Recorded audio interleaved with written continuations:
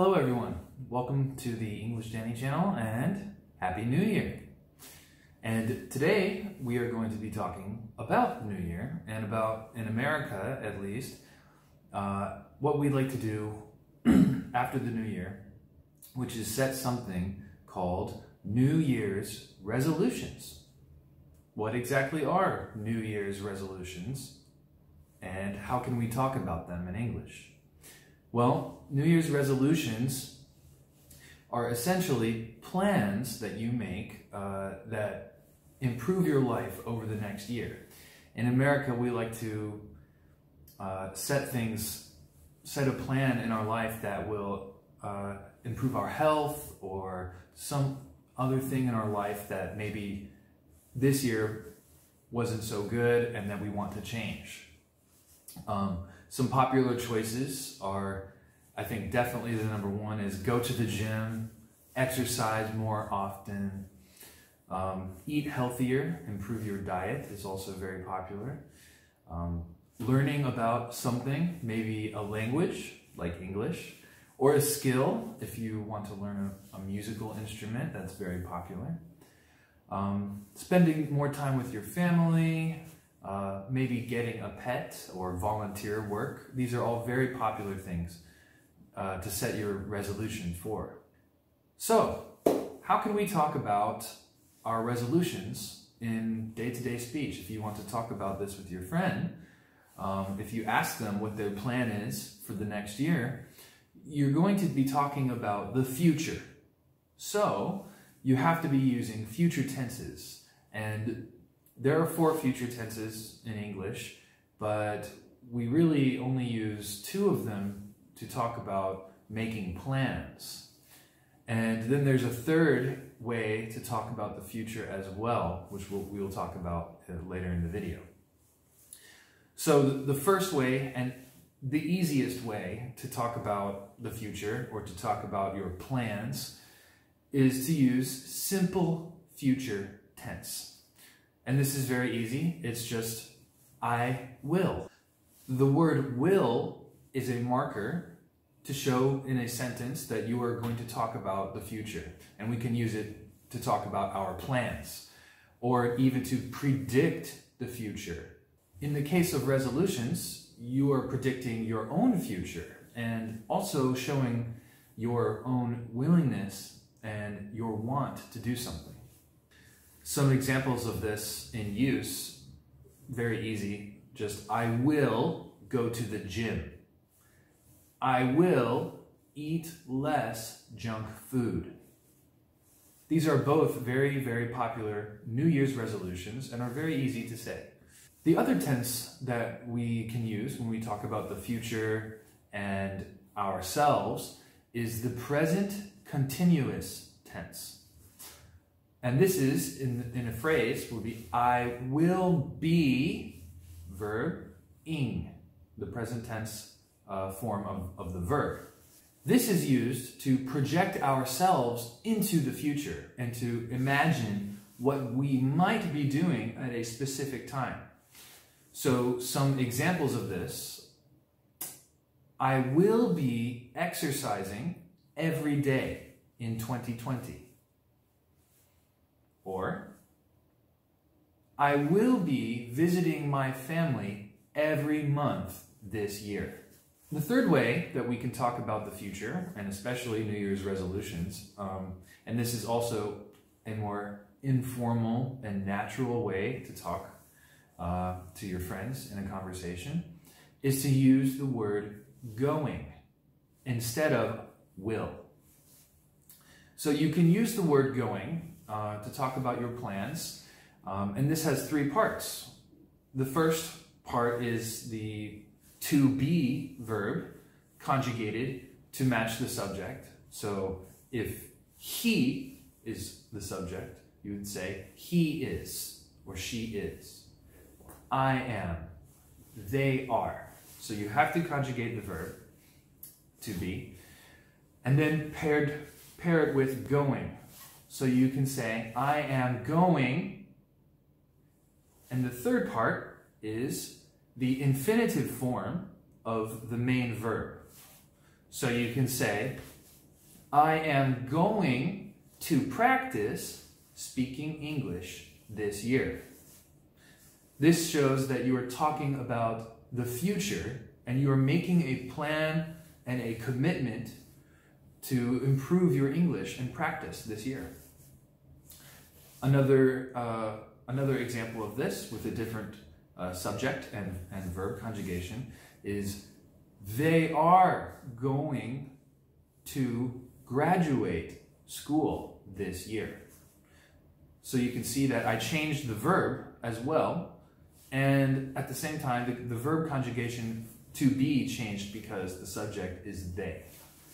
The use of going to talk about the future is mainly used to talk about plans or intentions, and sometimes even to make predictions about the future. So its usage is very similar to just simple uh, future tense. I will or I am going to are often used in the same way. Okay, students, that's our lesson on New Year's resolutions, and I hope you had a very happy New Year. Don't forget to hit the subscribe button below and also turn on notifications for our, for our videos. Also, be sure to hit the like button. Thanks for tuning in to the English Danny channel.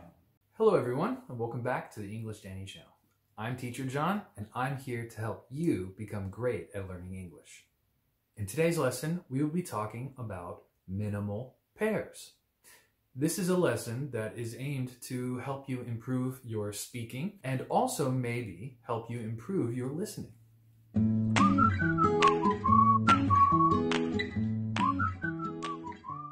First, let's talk about what exactly is a minimal pair. A minimal pair is a pair of words or two words that only have one different sound. This different sound can be a consonant, such as B or P, like the B or P sound, or it can be a vowel, such as the A and E sound, or A and E. Some simple examples are sat and set, leaf and leave, or think and sink. Why are minimal pairs helpful for you as an English student? Well, Again, they can help you improve your speaking very much for sounds that often are difficult for ESL students, but also they can help you improve your listening. When you listen to a native speaker or someone speaking English, it can become easier and easier to hear a word that is similar to another word, but only has one different sound. There are many of them. So let's take a look at some of the sounds that are difficult for ESL students, and also some exercises that will help you improve your speaking and your listening. Let's take a look at the short I, long E, and short E sounds. Many students often struggle with hearing the difference between these sounds. They are a little bit similar, but really they are quite different and they often are used in words that are very different from each other. So it's important to be able to say these sounds correctly and also be able to hear the difference. So let's do an activity that you can do by yourself at home, but also with your friends or other students so you can practice and help speak and listen to these different sounds. Now, I will say a word and I want you to choose the correct answer. This word is sit. What did you choose? Did you choose sit, seat, or set? The answer is sit. S I T. It is the short I sound, and it is a little bit difficult to hear the difference between the long E sound, which is E, and the short E sound, which is E it's actually a very good idea just to practice saying these sounds and also listening to the differences. So again, let's listen to these three words and so you can hear the difference in each sound. Sit, seat, set. The three different vowel sounds in these words are I, E, and E. Now let's try the same activity with the same words, but this time I will cover my mouth with a book. This is important because you really need to be able to hear the difference between each of these sounds. Okay, I'm going to say the words and you should choose the correct answer. The word is seat. Did you choose sit, seat, or set? The correct answer is seat. S E A T. It's a long E sound. Seat. You can repeat this activity with other students or your friends to improve your speaking and your listening. Now, let's talk about two other sounds that students also have a difficult time with. These two sounds are S and TH, the voiced TH sound. They sound like S and S. Now, I will read a sentence to you, and after the sentence, please pause the video and try to write down this sentence correctly. Here's the sentence. The doctor sought to help all sick people and thought he really could. Okay, good job. Now let's take a look at the correct answer right here. You can see the two words that sound very similar but have very different meanings if you switch the words, the sentence does not make sense. So it's very important to be able to say the two different sounds, S and TH, but also hear it. Now let's talk about two more sounds that students often have a difficult time with. These two sounds are L and R. The sounds are L and R. They're very different but also a little bit similar because some languages don't have a different sound for these two sounds, just one sound. Now, I will read a sentence to you, and I want you again to pause the video after I say it, and I want you to try and say the sentence. It's okay at first if you have to say the sentence very slowly, that's normal. But over time, if you practice, you should be able to say the sentence faster and faster, even in just five minutes of practicing. Here's the sentence. Remember to pause the video and practice afterwards. The alive squirrel arrived with reeved leaves. One more time, I will say the sentence very slowly so you can hear it. The alive squirrel arrived with reeved leaves. This is called a tongue twister. It is a very difficult sentence to say, but if you can practice this over time, your pronunciation will improve. Okay, students, that's all for today. I hope you enjoyed the lesson. Don't forget to share and like this video. And if you haven't subscribed, please press the red subscribe button below. Thanks for tuning in to the English Danny channel. Hello, students, and welcome back to the English Danny channel. I'm Teacher John, and I'm here to help you become great at using English. Today's lesson is going to be about improving your English by learning how most, mostly, and almost are different. Please consider subscribing by pressing the red subscribe button below. Also, be sure to like and share this video.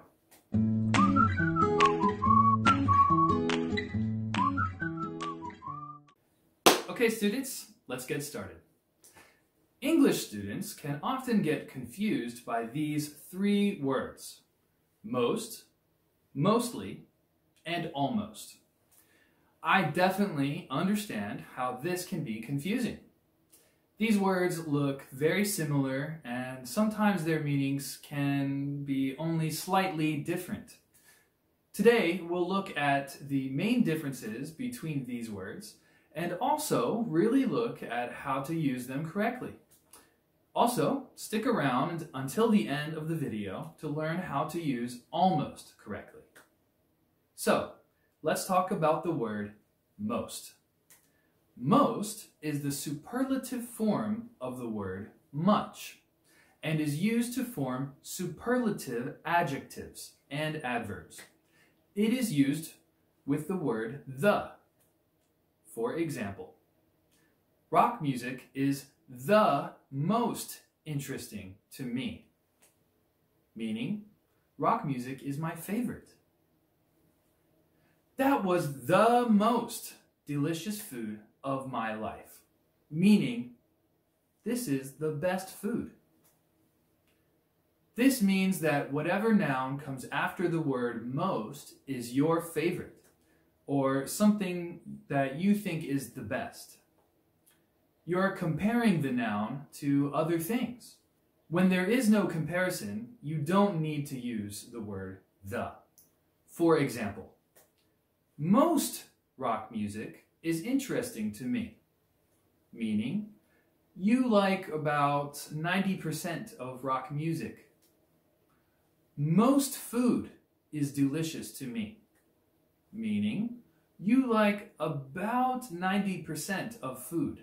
In formal speech, most can be used the same as the word very.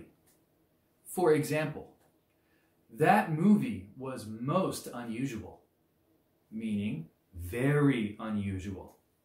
Or, you are most kind, meaning very kind. Most is also used with long adjectives, or adjectives with three or more syllables. For example, it is the beautifulest painting in the room. Wrong. It is the most beautiful painting in the room. Correct. The word beautiful has three syllables. Beau-ti-ful. So, we must use most before it when making a superlative statement. We can also use most before a noun phrase as a determiner.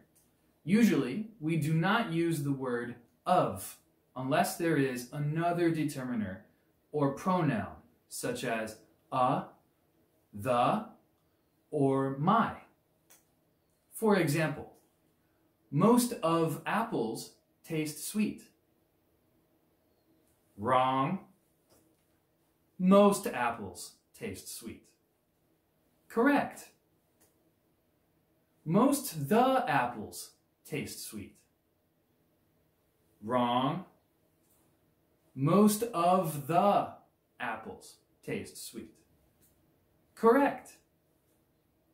Most my apples taste sweet.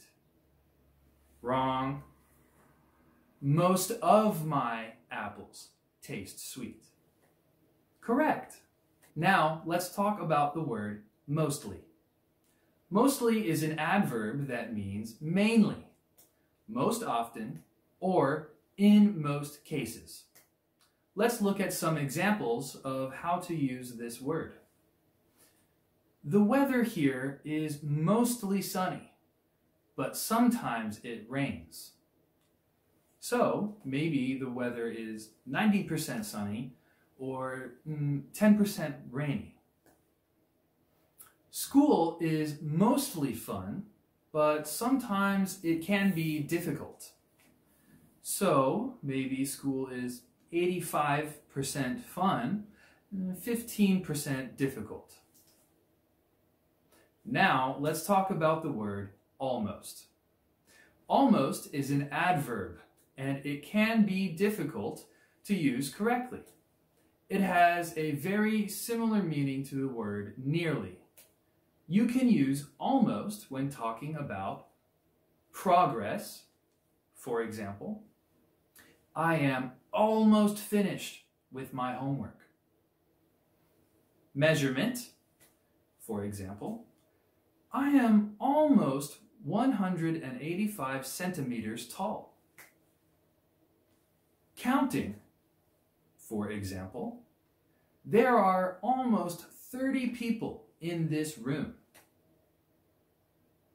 Saying something is similar to something else.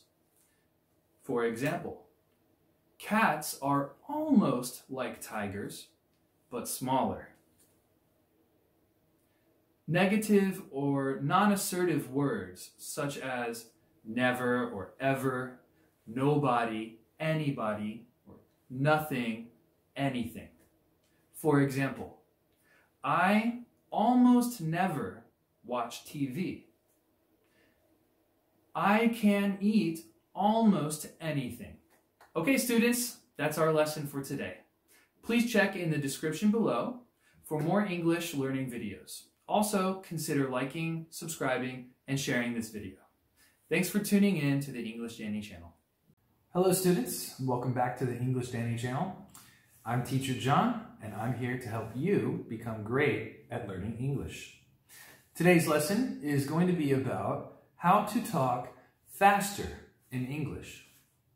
A lot of students really struggle with speaking quickly in English, and I'm speaking pretty naturally right now, so even if, this could improve your listening skills as well once you learn how exactly native speakers speak so quickly.